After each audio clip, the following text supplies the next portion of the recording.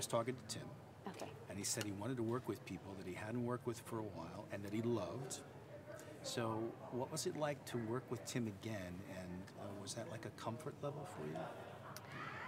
Um, certainly, yes, it was because I've mm, I've known him for 25 years, and and I I, I credit him with my my career in a very I, really mean that. Um, I don't uh, know if I would have.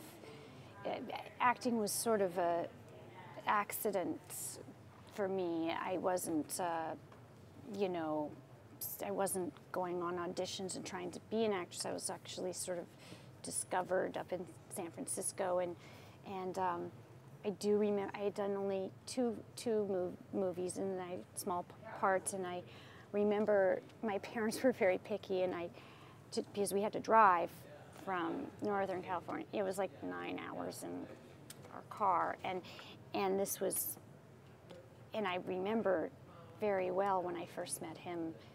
I was sitting and waiting to meet him, and this guy came in, and we're talking, and like talking about movies and like music, and and like 25 minutes later, I'm like, do you know when this Tim Burton guy is gonna come? And he's like, oh, that's me, and I was like.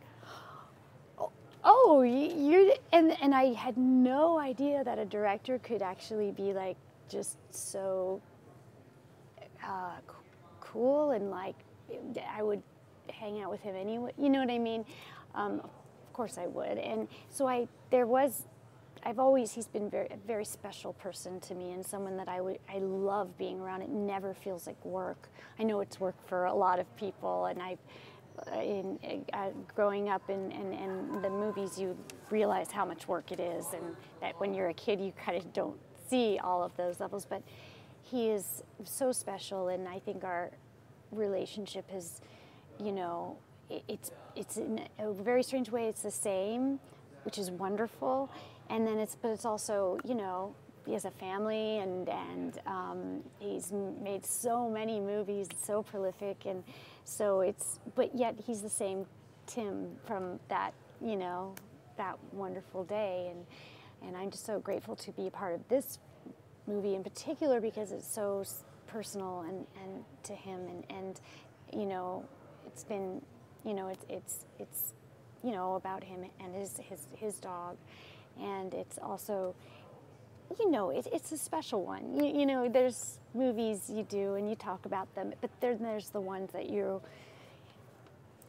really love. And all, all of my films with the three films I've made with him I really but this one I have to say I just saw it and was like crying and like I can't believe I'm you know I was losing it